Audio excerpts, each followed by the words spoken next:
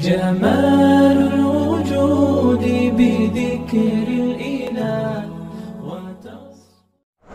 نبی علیہ الصلات والسلام له یو ځل یو يهودي رااله نبی علیہ الصلات والسلام ته وی نحن السابقون الاولون موږ د ټولو نه لومبي دنیا ته راغلي یو موږ د ټولو نه پیله په ایک نمبر باندې دنیا ته راغلي یو لهذا موږ ایک نمبر والا شو نبی علیه الصلاة والسلام ورته بېشک تاسو دنیا ته اول نمبر راغلي یئ، بېشک تاسو دنیا ته پهله نمبر راغلي یئ، لیکن دنیا ته پهله نمبر کې چې څوک راغلی دی هغه خپه دی، چې کوم کسان بوډاګان شوي دي هغه خپه دي، وایي کاش چې موږ ځوانان وای، څوک چې څومره مخکې راغلی دی مخکې مړ شوی دی تللی دی، وایي واوره ای یهودي بېشک تاسو مخکې راغلي یئ خو نحن الاولون السابقون موږ به چې کوم دی د قیامت په ورځ باندې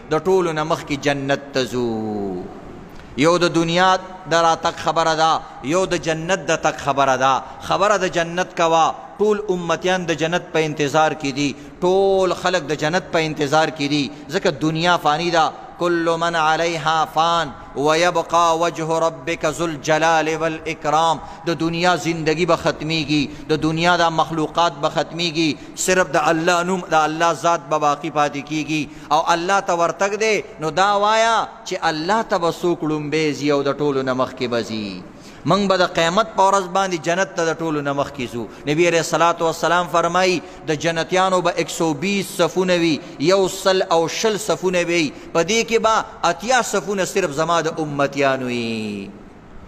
د قیامت په ورځ به ټول پیغمبرانو چې څومره امتیان دي آدم علیه الصلاۃ والسلام له بلار شي یا آدم انت ابو الخلق ته د ټول پلارې ته د ټول مشر تیر شوی وسجد لك الملائکه تا ته فرشتوم سجده کړې ده نن الله ته صرف دا یو سوال وکا چې الله رب العزت موږ باندې دا د قیامت ورځ ختمه کی صرف دا یو شفاعت وکا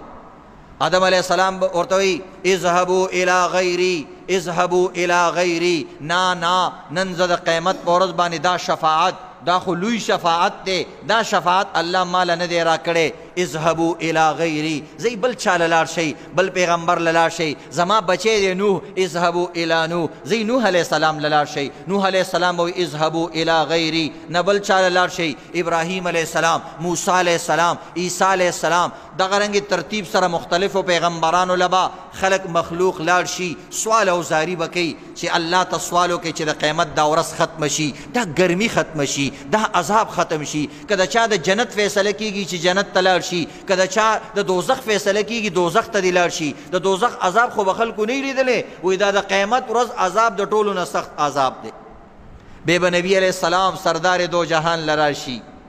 نبی علیه الصلاۃ والسلام وی بخاری شریف حدیث ته نور حدیثو کتابونو کې دی او په هغه ورځ باندې د قیامت پر ورځ به الله ته سجده ولګوم او د الله داسې محامد او حمدونه به بیان کما چې د دې نه مخکې چر تمام نه دی بیان کړي نه بل پیغمبر نه بل چا بیان کړي الله رب العزت به خپل پیغمبر ته وی ارفع راسک ارفع راسک سل توتا شفع تشفع، اې زما خوږ پېغمبره! سر اوچت که، نن د سجدې لګولو وخت نه دی، نن ما ته د سجدې کولو وخت نه دی، نن سر اوچت که، سر اوچت که، څه وایه، سوال کوه څه غواړې، سوال کوه څه غواړې، زه به تاله درکوم او شفاعت کوه چې د چا په بارت کې شفاعت کول غواړې شفاعت به قبلوم.